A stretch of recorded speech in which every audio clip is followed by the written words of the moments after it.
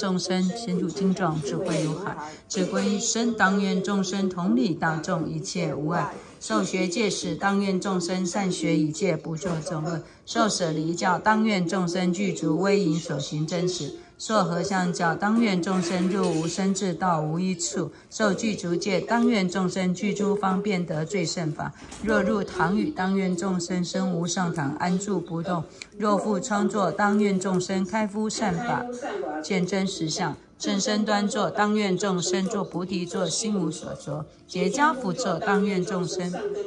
这就是在华严经里面当中最重要的啊，在华严经里面的。所以我们现在呢，也透过啊，不断的在学习中啊，让他们呃，不管是我们白衣啊，如果是优婆夷啊，甚至呢，我们因为在家居士呢，对这个呃华严经。所以现在我们是透过这个大方广佛华严经的经和品。